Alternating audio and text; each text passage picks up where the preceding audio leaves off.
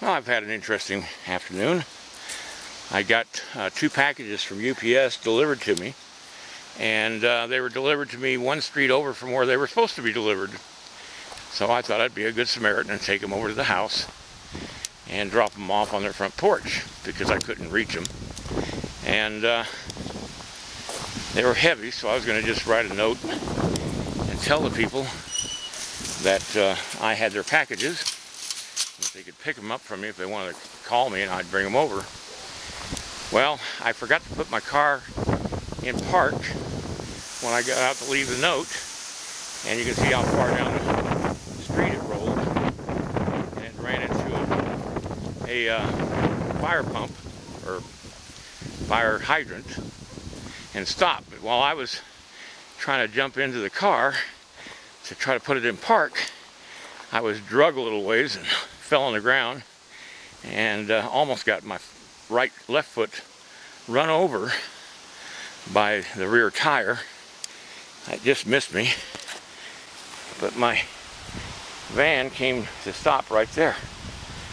And so I've got just a little damage to the bumper. It was already damaged from a deer that hit me a couple years ago, or I hit them. And uh, so it's just added on to the cost I already had. So now I'm just sitting here waiting for the sheriff to come. My toe's a little bloody from being drug in the gravel because my foot, shoe fell off. Ah, so here I sit, just waiting. So I don't know if I'll be getting to sculpting today or later today or what. Beautiful afternoon though. At least there was no snow. All right, everybody, that's it for here. Well, I'm home, and uh, just a little damage to my foot from scraping on the ground as it drug me down the street road a little bit. Uh, I may lose a toenail, but uh, I don't think that's a big thing.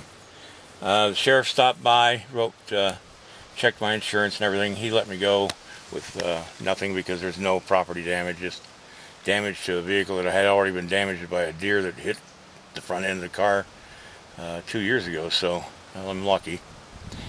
Uh, I'm going to go in and soak my foot for a little while, and then I'm going to head over to the studio. Happy ending to the story.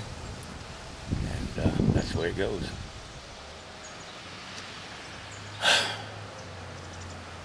I must say, God was with me today. I could have been killed. Or really, really crippled. Alright, I'm going to head to the studio later.